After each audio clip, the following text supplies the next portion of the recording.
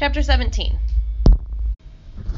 When Ben gets home, he grabs a snack and is about to head back outside when his mom calls out, There's something for you in your room. He runs down the hall and finds a big box sitting on his bedroom floor. Its corners are squashed, and Ben recognizes his own handwriting on the side Ben's room. Finally! he says to himself. He drops his backpack, rips the tape off the box, and pulls back the flaps. His mom comes in and leans against the door, watching him. His first thought when he looks through the box is that there's not as much stuff as he remembered. What's missing? He pulls out the little pill bottles holding insects, the plastic food containers that hold snakeskin, the posters of dead animal desert animals he folded so carefully when he packed in Tucson, and finally, down at the bottom, his books and his collection of rocks. Happy? his mother asks.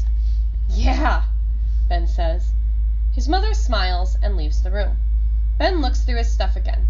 It's all there, but it still feels like something is missing. It's not as exciting or as comforting as he thought it would be.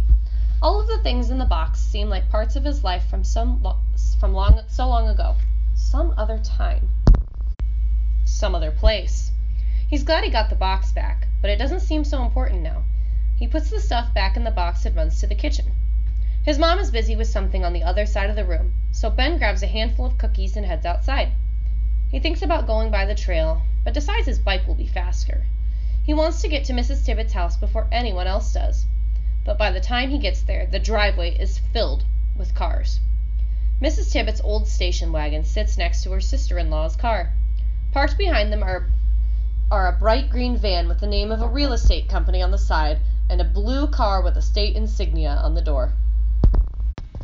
An insignia word here which means like a symbol, so there's a state symbol on their door. Ben's heart races. He knocks on the front door. When nobody answers, he walks around to the back and finds four people standing in a semicircle, a word here which means half circle, looking at the back field. Sandwiched between Mrs. Tibbetts and her sister in law are a tall lady in a business suit with a purse slung over her shoulder and a short, stocky man in a brown windbreaker, an ancient green baseball cap, and hiking boots. Think about that word sandwiched. At first thought, when I think of a sandwich, I think of a sandwich that you eat, right? But when you think about a sandwich, it's two pieces of bread with some things in the middle. So this is saying Mrs. Tibbetts, two other people, and her sister in law are standing in a row. He's holding a clipboard under one arm. No one's talking. They're just standing there like they'd rather be somewhere else. They all turn when they hear Ben come up. Hello, Ben, says Mrs. Tibbetts. Hi, Ben says back. This is Tabitha Turner, my sister in law, and this is Adelia Garrett, her real estate agent. And this. You must be the young man who called, says the man in the green cap. His face breaks into a grin. I'm Hank Lindsay, he says, holding out his hand. Ben's dad has always told him you can tell a lot from someone's handshake, and Ben likes the friendly way Miss uh, Hank Lindsay shakes his hand. Hi, Mr. Lindsay. The real estate agent looks at Ben and Mr. Lindsay like she thinks they don't they don't belong there, but Ben isn't leaving, not now. Then Mrs. Tibbetts' sister-in-law speaks up. "Excuse me, but I'm still mystified as to why this boy felt free to invite a person from the state onto my property." Mystified. If I think about mystified, I think about a mystery. She's still mystified, which means she's still confused as to why this boy felt to, uh, why Ben invited somebody onto the property. I spoke with Mr. Lindsay too, Tabitha, Mrs. Tibbetts says. I told him he should come. Tabitha Turner sniffs and shakes her head. Well, says Mrs. Garrett, this certainly is a beautiful piece of property. It has terrific possibilities. She gives Hank Lindsay a tight little smile. There's an awkward moment of silence, and Ben is glad he doesn't have to do anything but stand there and be a kid. Well, Mr. Lindsay says, taking out his clipboard, let's go have a look. It's over here, says Mrs. Tibbetts. The pool is down the path on the other side of the garage. She leads the way, and everyone follows behind her in a straggly line. What was in there? Mr. Lindsay asks, nodding to the empty cage beside the garage. Snakes, says Mrs. Tibbetts, hurrying towards the trailhead. My husband was a herpetologist. A herpetologist is someone who studies snakes. I see ologist Ologist means someone who studies. So a biologist would be someone who studies things that are living. A herpetologist goes with snakes. Tabitha shakes her head and mumbles something to Mrs. Garrett. Um, oh, sorry, I know, Mr. Lindsey says. I met him several times. He knew his stuff. Tabitha shakes her head and mumbles something to Mrs. Garrett as they try to keep up with the others. Swallows swoop overhead and a mockingbird calls out from the branches of the tree in a back field. This is an interesting piece of land, Mr. Lindsey says. There are several different habitats. There's that meadow behind the house, and it looks like there's an outcropping of granite over there.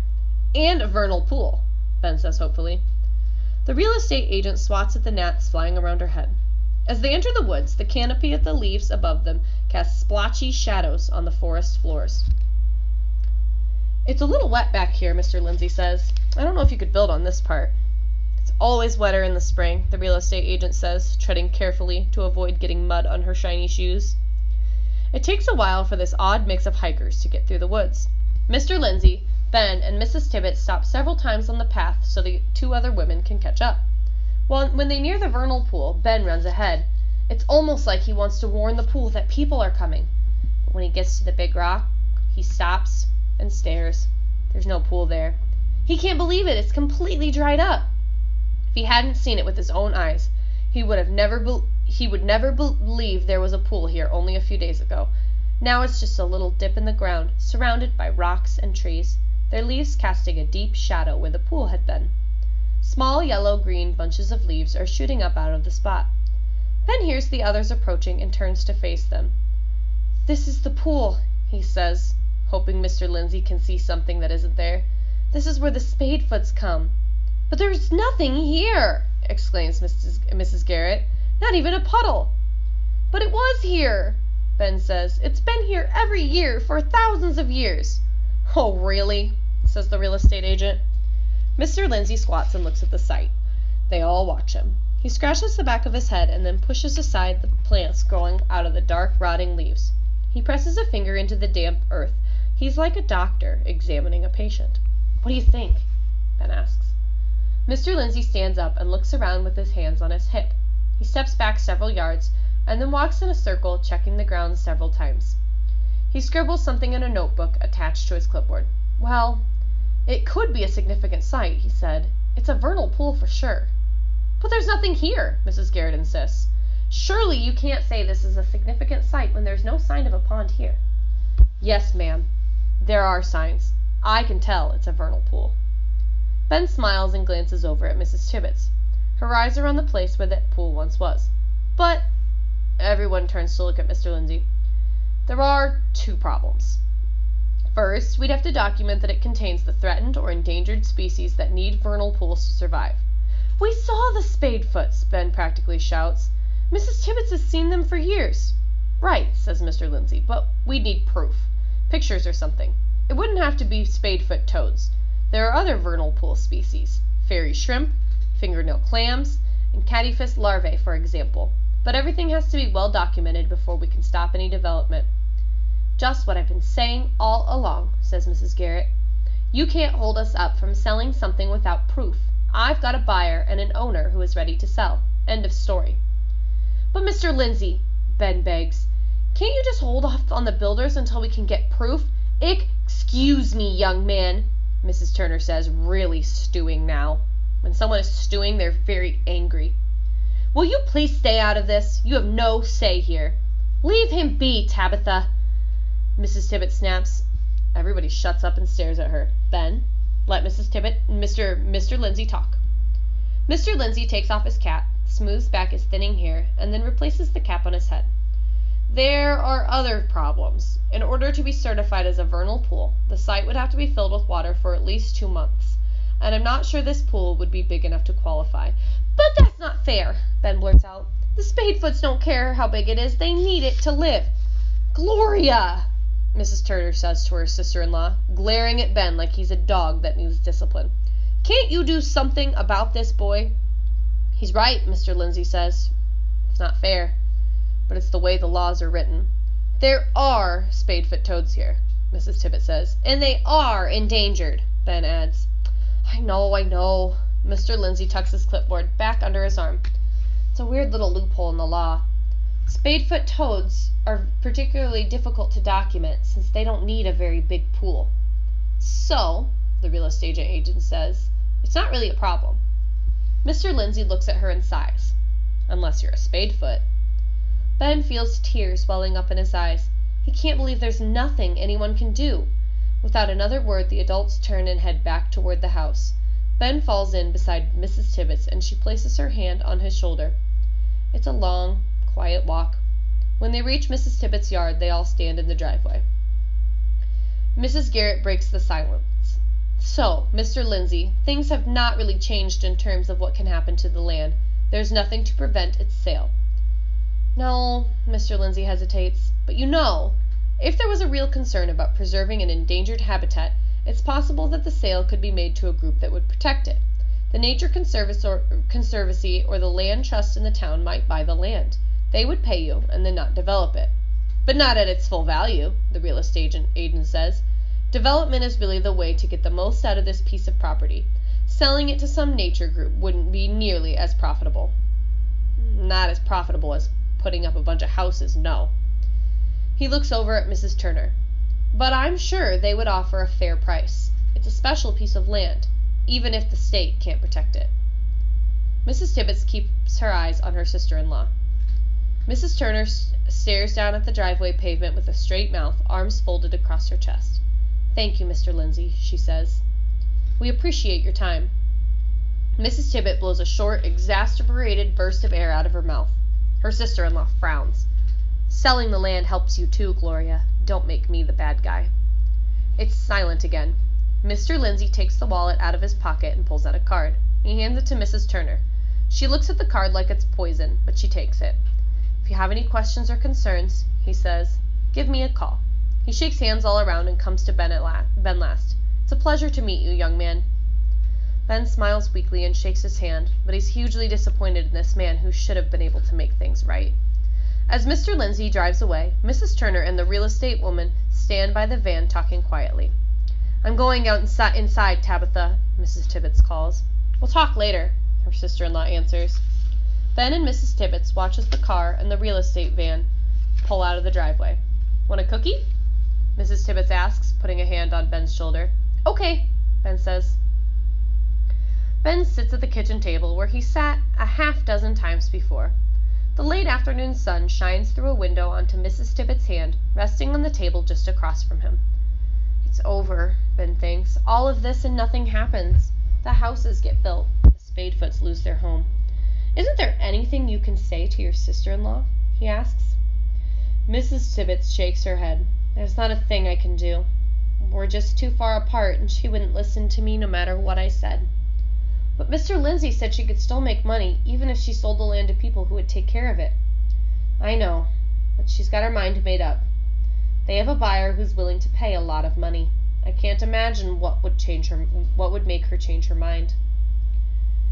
Ben looks out the window and tries to picture the trees gone and the land filled up with houses. Her husband wouldn't have sold the land so someone could build houses on it, would he? No, he loved this land. Doesn't she love it too?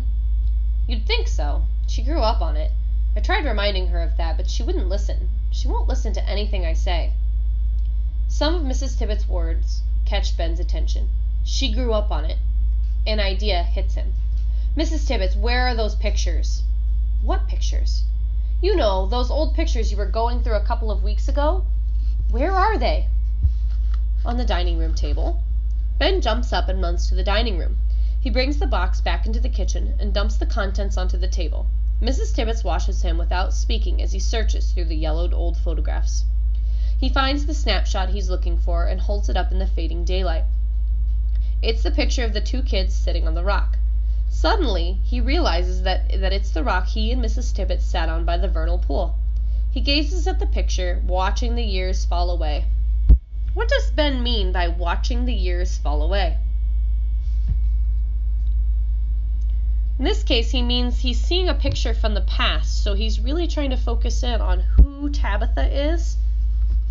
The girl is Tabitha and the boy is Thomas. They are holding American toads. The girl has a big grin and doesn't look anything like grown up Mrs. Tabitha Turner.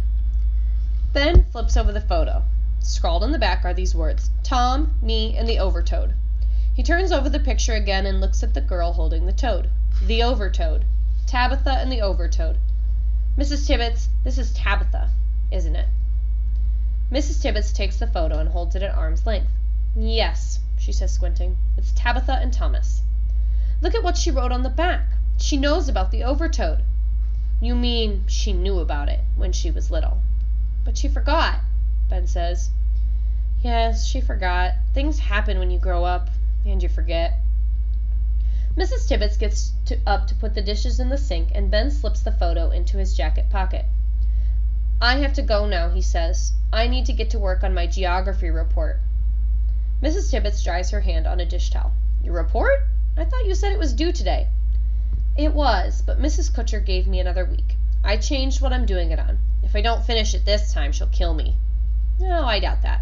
Well, bye, Ben says and scoots out the back door. There's so much to do, and he doesn't know if he has enough time. But he whirls around and sticks his head back through the doorway. Mrs. Tibbets, maybe the overtoad will save us. I'd love that, Mrs. Tibbets says. Stop and make some predictions about what you think is going to happen next. Two days later, on a hot Saturday afternoon, Sunday afternoon, Ben leads Ryan and Jenny down the path from his house. They're all carrying supplies for an expedition, and Jenny's got her camera slung around her neck. Ryan drops the plastic containers he's carrying, and they skitter across the trail. Ben and Jenny help him pick them up. It's good your body parts are attached, Jenny says, or you'd lose them too. Ryan laughs. Like you never lose anything. You're so perfect. Jenny smiles. Ben slows down to check his pocket. Did he forget the list of things to search for at the side of the vernal pool? No, it's there, along with the pictures he printed from the internet. Eggs from fairy shrimp, caddisfly cases, snail shells, fingernail clams. Nothing they're looking for is longer than two inches, but Ben hopes he can find some specimens to show what lives in a vernal pool. He wants to show everything he can in his report. When they get to the side of the pool, Ben stops. Here it is, he says. Ryan and Jenny stare at the mud encrusted, leaf strewn ground. I don't see any pool, says Ryan. I told you. That's what a vernal pool does, says Ben. It dries up. But there's nothing left to find, Ryan says. There's got to be something. Help me look. And Jenny, will you take some pictures of the area? Ben steps carefully out to the middle of the darkened leaves where the pool was and squats down. Ryan starts shoving leaves and dirt aside. I don't see anything, he says. Hey, Ben yells, you've got to be more careful. We don't want to mess everything up. While Jenny snaps pictures, Ryan and Ben work quietly and methodically, shifting, sifting through the mud. First, Ben finds a caddisfly casing. Then Ryan shouts, Hey, look, a little clamshell! And here's another one! I know, Ben says. It's like there's nothing there, but when you look closely and bam, a whole different world opens up. Within fifteen minutes, they fill a couple of containers with snails, clams, and caddisfly shells. Too bad we can't get a spadefoot, says Ryan. They're around here somewhere, says Ben, but they're impossible to find. Just then something moves in the leaves by his feet.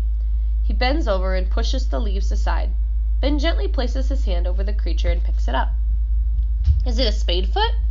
Ryan asks. Nope, says Ben. Nope, says Ben. It's a wood frog.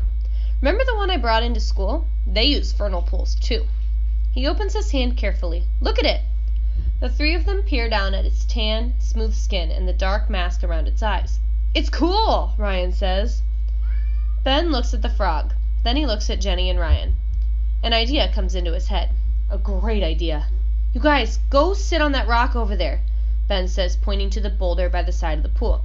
How come? Ryan asks. Just do it, please.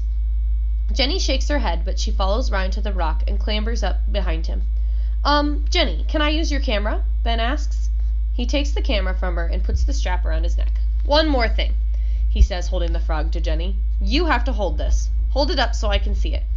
No way! What if it poops on me? Consider yourself blessed. Just take it, I'll hurry. They're laughing as Ben focuses the camera on them. Okay, he says. Jenny, hold the frog a little higher. Both of you guys smile. Ribbit, Ryan says. Ribbit, ribbit, ribbit. Ben clicks the picture. Ben works like crazy on his report. For the next five days, it's all he thinks about. The best part about the, a report is what it what it feels like when it's finished. It's like Ben hasn't taken a deep breath for weeks, and suddenly his lungs are filled with fresh air or like he's taken off a pair of really dark sunglasses and can finally see clearly again. And when he's finished, he knows it's good. He just hopes it's good enough. It's raining, but by the time Ben finds the street he's looking for, it has started to pour. He's drenched, but his report is inside his jacket, safely tucked into a plastic bag. He pedals his bike slowly so he can see the street numbers, and then recognizes the car in one of the driveways. Ben parks his bike on the sidewalk and walks to the door and knocks. Nobody answers, so he knocks again. He's about to give up when the door answers. Tabitha Turner stands there looking surprised. Yes? Hello, Mrs. Turney, I'm Ben Maroney. Drops of rain trickle from his hair and slide down his nose. He wipes his face with the sleeve of his jacket. I met you at Mrs. Tibbetts' house. I know who you are. I'm really sorry to bother you, but I've got something I want to show you. It's my report for geography. She raises one eyebrow. Geography? Yes, ma'am, geography. It'll just take a minute, please. Tabitha Turner looks back in the house like she's trying to figure out a way to escape, but she she steps to the side and motions for Ben to come in. You can hang your wet jacket on that coat rack, she tells him, and maybe you'd better leave your shoes by the door. Ben does as he's told and follows Mrs. Turner into a large living room. She sits in a straight back chair by the window. Ben checks the seat of his jeans to make sure it isn't wet and then perches on the edge of the couch. With his heart pounding, he slides his report out of the plastic bag and places it on the coffee table. I wanted to show you my report on ecosystems, he says, scooting it over so she can see it. She glances down at the report and then looks at him blank- blankly, like she's still trying to figure out what he's talking about. Um, I was going to do it on the desert because that's where I lived until four months ago. I really loved it there. There was this great museum near my house, and I had all this stuff about deserts. I even had a lizard. Its name was Lenny, but I didn't get to bring it with me when I moved. My friend Co- Toby was keeping it, and it died. Mrs. Turner nods, waiting to hear what this is all about. But when I started my desert report, I didn't feel like doing it anymore. Ben is halfway afraid to go on, but there's nothing to do but just plow ahead. So instead, I decided to do it about what it's it's like where I live now. He takes a deep breath and lets it all out. I decided to do it about your land, about your vernal pool. Tabitha Turner clears her throat and shifts uncomfortably in the chair as if she's about to speak, but Ben doesn't give her a chance to interrupt. He opens his report and holds it out to her. I know you don't have time to read all of this, but here I talk about how the pool has been there for a really long time, probably for 10,000 years, and about the people who have lived there. The Wampanoag Indians walked through here maybe a thousand years ago. They were the ones who met the pilgrims. Ben thumbs to and through until he finds the photos. See, here are some of the animals that live in vernal pools. These are salamanders, spotted ones, I'm pretty sure. We didn't find any in your pool, but they live around here. And look at these caddisfly larvae. They make uh, these little buildings out of sticks. He holds the booklet up so she can see the little clam shells he taped to the sheet. I found these at the pool site, and I figured though these were fairy shrimp too, but I couldn't find any. I know spade the spadefoots were there earlier this spring, but they're all spread out now. Still, me and my friends did find something interesting. Ben flips to the last page, where he's taped the picture of Ryan and Jenny sitting on the big rock by the dried up pool. They're both laughing, and Jenny's nose is scrunched up. She's holding the wood frog away from her because she's afraid it's going to poop on her. Ben has barely looked at Mrs. Turner the whole time, but now he sneaks a glance. She's studying the picture of Ryan and Jenny. There is the barest hint of a smile on her face. He wonders if she knows. He's about to find out. He barrels ahead with what he's been planning to say. What could happen here is more important than any grade he's going to get in geography. And I put that picture at the end of the report because of the picture I put at the front of it. Ben flips back to the first page of the report and holds it up for Tabitha Turner to see. The picture is old and crinkled on the edges. It shows two kids sitting on a rock holding toads. The girl is holding the fat toad under her chin and laughing. Tabitha Turner's breath catches. Ben looks up at her and sees her hand go to her mouth. But he's not done. Let me read the first page, he says.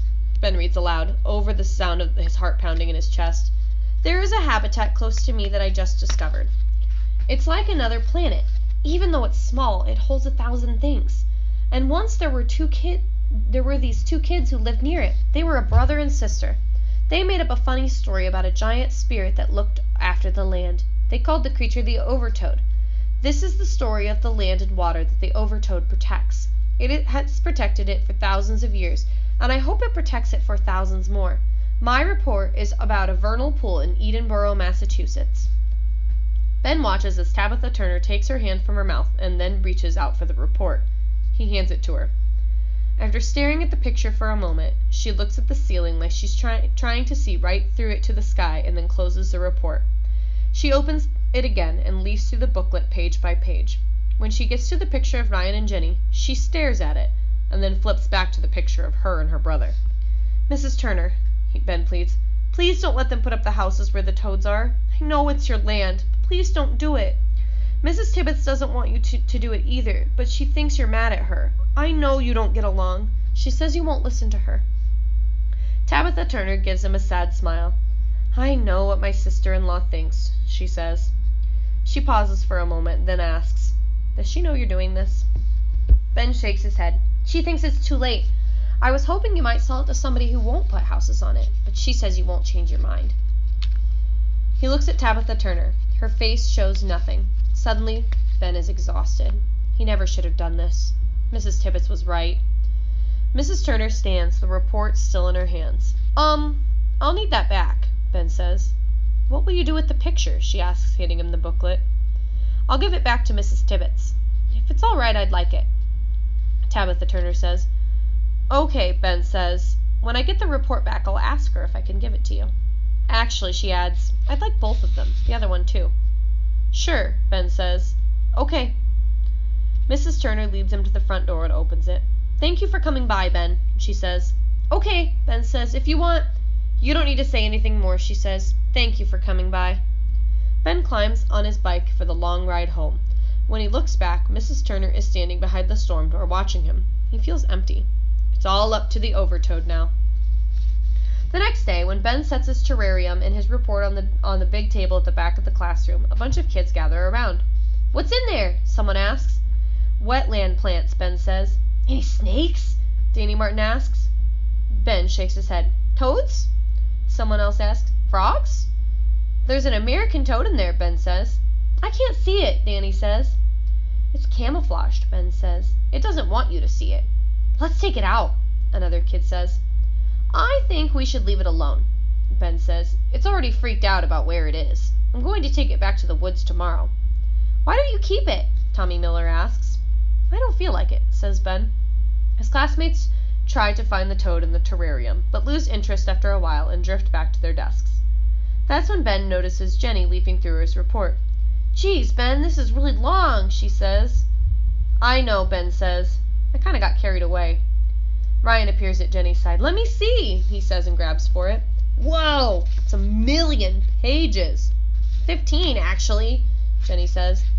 Almost a million, Ryan says, flipping the pages. Don't mess it up, says Ben, or I'll feed you to the overtoad.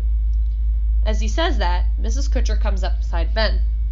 Did you bring this in, Ben? she says, looking down at the terrarium. Yeah, he says. It's part of my report. She takes the report out of Ryan's hand and gives it to Mrs. Kutcher. She thumbs through it and a huge smile spreads across her face. Great work, Ben. Great, great work.